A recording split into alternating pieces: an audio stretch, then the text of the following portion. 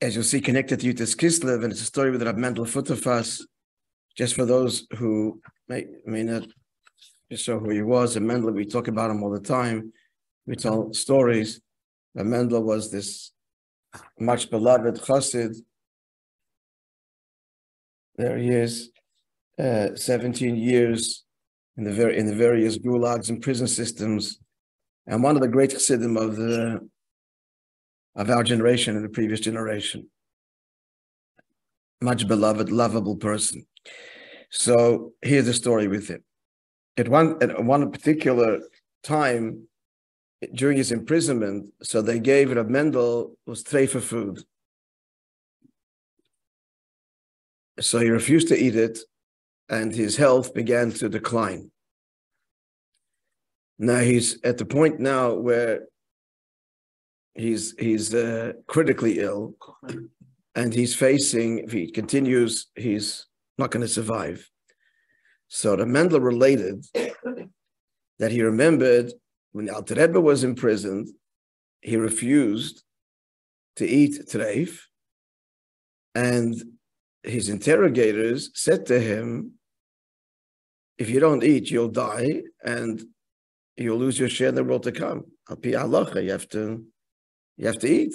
It's not one of the the the the, the mitzvahs the person has to give his life for rather than transgress. And they were knowledgeable. This was the beginning of his of his arrest. The Alter Rebbe said, "I'd rather lose my Olam Haba than eat treif." so Rab Mendel is thinking to himself, "I'll do." So he's, he's going to like the, the Alter Rebbe, and I'm not going to uh, eat, and so I'll lose my share in the world to come. But then he said the, the, the pain, and he was so sick. So he starts, this is such a, a very powerful story, friends, which takes us into the mind of a, of a chassid and the mindset of a chassid, as you'll hear. So he starts to think to himself, you're comparing yourself to the Alter Rebbe. The Alter Rebbe felt what he was saying. He felt Kedusha. Can he treif?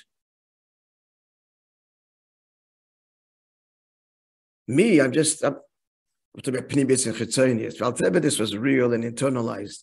Me, I'm just imitating him. It's just achitz.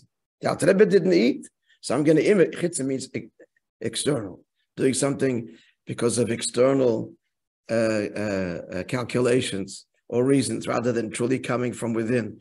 The Alter Rebbe spontaneously and naturally he, he, he cannot not eat treif, and he feels this and he won't have his, he feels Olam Haba, knows what that is as well, and he's not going to have Olam Haba. He'll forfeit Olam Haba, not to today. This is, and I'm just a monkey imitating this, a chitzon. And this is what the voice is telling him. So eat. And then he said, I thought, was, you know what? Yeah. Sometimes they have to use chitzonius. Sometimes one has to behave in a way that it's external. You really feel this, you're holding by it. I don't hold by it. But you still got to do it. This is the internal discussion. This is a chassid. I mean, this is so. I have to understand, friends, like for a person like Reb Mendel, chitzonius and any chassid is the, is the worst sin. I mean, I'm to tell you, the biggest insult for the, the in Lubavitch is to call someone a chitzon. You're external, you're governed, you, by external uh, considerations, but others think give you whatever it is. There's many levels to chitzonius. It's the worst thing. And here Rab Mendel is, and the Yetzer Hara is like using it, they, but he caught him.